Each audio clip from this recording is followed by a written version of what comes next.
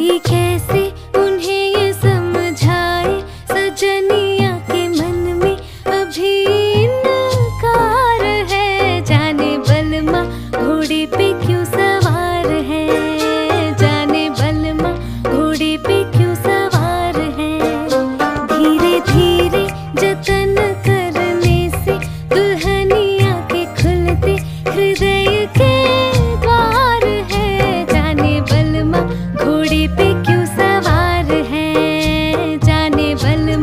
घोड़े पे क्यों